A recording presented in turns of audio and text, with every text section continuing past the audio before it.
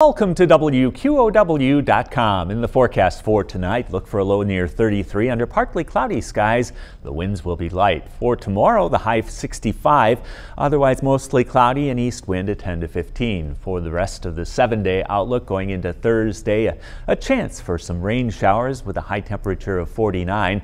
Partly cloudy on Friday, the high near 51. Over the weekend, we've got a slight chance of either a wintry mix or a few flurries with temperatures in the upper 30s on Sunday, upper 40s on Saturday. For Monday and Tuesday, expect partly cloudy skies with highs on Monday 37 and highs on Tuesday near 47 degrees.